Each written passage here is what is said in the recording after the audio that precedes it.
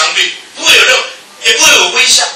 人类文明里面会有微笑，是标人类文明里最伟大的两个微笑，除了蒙娜丽莎的微笑，另外有一个叫做拈花微笑，那是一种心理的状态呀，你要知道吗？但是这一种是没有眼睛看见无限阳，这是什么？我告诉各位，不能够理解这个，就不能够理解埃及的文明。一个埃及的文明是讲究那种恒定，看向无限遥远是没有焦点的，所以那一种集，他们寻找一个永不改变的恒定的造型。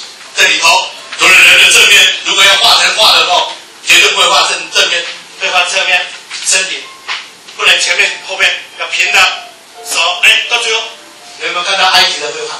那个是不是不会画我们所谓的写字？是因为那一些东西都代表，像你要去让人家剪纸，我们码头那边帮人家剪，一起给你剪个正面的，你要不要？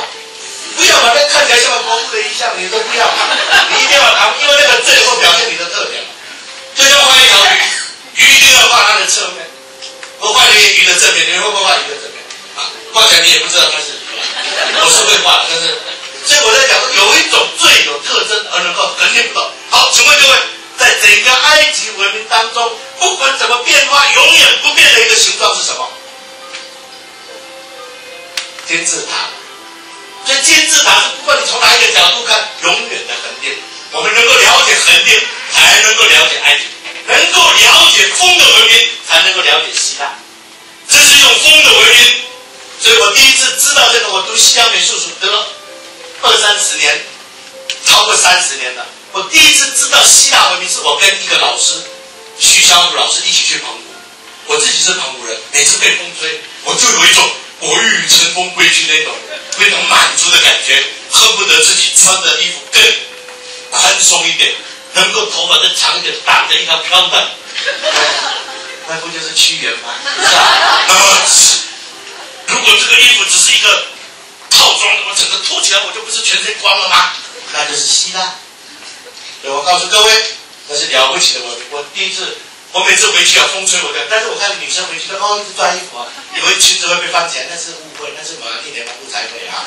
那么，但是我就看到一个徐小武老师回去，我很兴奋。我说徐老师你怎么了？他跟我讲一句话：我读西洋美术史的，任督二脉就打通了。到现在我敢说，只有我把这个事情讲清楚，是什么？他跟我讲，希腊的风就是这样。我澎湖吹风，吹了一辈子，超过五十年了，从来没有想到希腊的风就是这个。这个西校老师在希腊住过十九年，他一讲，我马上想起了这句。你说这他这是怎么了？这跟阻来防治没关系，这只是搬运的。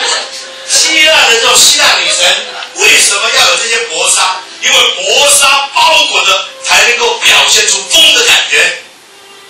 原来我才知道，我以前读的那些希希腊的文化，他说像一个平野上的一种呃景致一望无际，是希腊文明的。我后来才发现，这是不管是半岛还是西西，哎，这克里特半克里特岛还是这个希腊半岛，永远海风不断的吹拂，就好像我作为一个法国人，那种海风的吹拂，让我们对身体的感官有一种极度的存在感。